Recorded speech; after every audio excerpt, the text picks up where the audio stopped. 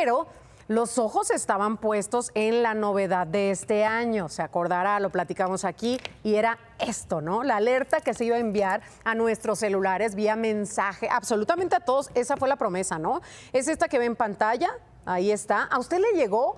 Cuénteme en redes sociales porque a mí no me llegó, ¿eh? A muchos de aquí, compañeros, nada de nada, al menos con la prueba de las 11 de la mañana. Eso sí, hubo a quienes sí les llegó, pero después de la hora, incluso hasta el mediodía. No, bueno, pues nos falló, ¿no? Esta, esto que sería por primera vez algo histórico. Pero bueno, a otros la alerta les llegó hasta más de tres veces, ¿eh? les cuento, en el transcurso de la mañana, incluso pasadito el mediodía. Todavía varias personas recibieron estos comunicados que estaban previsto que pues llegaran puntuales absolutamente todos los celulares, ¿no? Con el simulacro a las 11 de la mañana y nada de nada. Esto provocó que la gente se quejara en redes sociales, claro, porque pues no llegó o porque también, como le digo, se repitió varias veces. Algunos incluso se molestaron y subrayaron que siempre pasa lo mismo en estos casos.